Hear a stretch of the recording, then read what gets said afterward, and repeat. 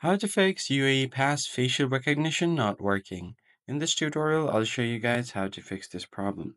So if you are facing the same problem on the UAE Pass, you need to first open up your settings menu and then scroll down until you find your app settings. Tap on apps and then wait for everything to load up and simply search for UAE Pass. So I'm just going to scroll down here and then find U and then find UAE Pass right here. So once you find the application, just tap on it. The first thing you do is go to permissions and allow all of these permissions. Go to camera, tap on allow, then go back, go to location, tap on allow, go to microphone, and then allow it again. Now once you go back, you need to head over to storage and then clear cache. After that, you could also try to clear data, but it will uh, permanently delete your uh, account information. So all you have to do is log back in again.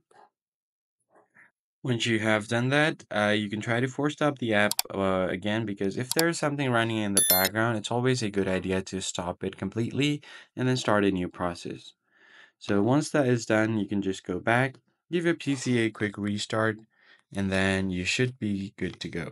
That's it for this video. I hope it was helpful. I'll catch you guys on the next one.